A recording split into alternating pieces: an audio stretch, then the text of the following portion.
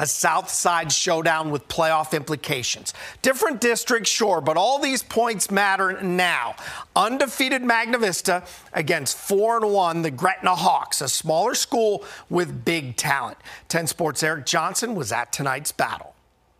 Gretna and Magna Vista have done good things this season, but both sides knew it would have to be great in what was a much needed late season test. These teams faced each other in off season 7 on 7s, that was then, and tonight was an all out war. Packed house here at Gretna for homecoming and a newly installed press box for Gretna. Didn't take long for the Hawks to take flight. Second play of the game, Ray Rayshawn Logan dropping back, goes up top. Amari Gunn on the receiving end of this big touchdown pass. No PAT, 6 0 game.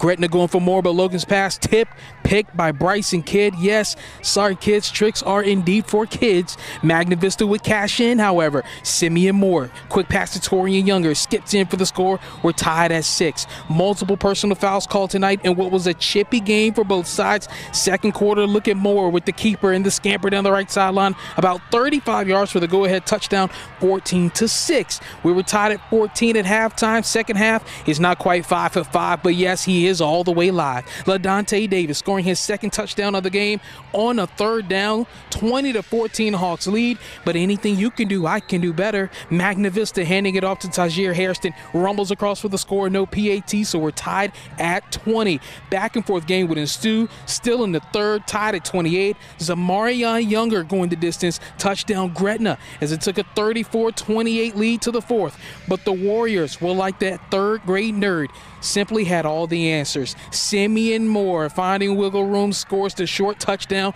Extra point is good. It's a one point game. Gretna had the ball late, under two minutes to play, but the pass here picked off by Elijah Witcher, and that sealed it. Magna Vista held on for the 35 34 win to remain unbeaten. Sometimes you just got to find a way and you know play ugly or make some mistakes and give up some big plays. And they got some athletes for sure.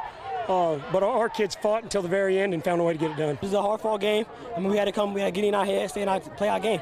That's really all it is. We play our game, we win every game. Tonight, simply one of those games that had a playoff atmosphere, both teams leaving it all out on the field and showing the sheer will to win. Magna Vista now 6 0 on the season. In Gretna, Eric Johnson, 10 Sports.